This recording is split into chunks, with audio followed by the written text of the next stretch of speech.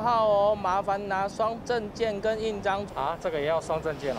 拿印章领包裹稀松平常的事，一位网友遇到邻居阿姨这样领包裹，却觉得有鬼。网友说这人不是经常送信的邮差，惊觉内情并不单纯。网友呛下，马上要报警。果不其然，那人东西丢了就走了，结果打开包裹里面都是暴力龙。他以这段经历提醒老人家要特别注意，不要误入陷阱。他读卡机本身就有问题，健保卡、身份证条码插刷进去就可以读取，同时存取你的资讯。治安专家指出，这类似盗刷信用卡、机器拦截复制晶片讯息，各自被盗用不是不可能。查证一六五反诈骗专线以及邮政系统都没有接获类似通报，但还是提醒民众，遇到来路不明的陌生人要你的双证件，都要小心，多留份心眼。这里请一彩山藏报道。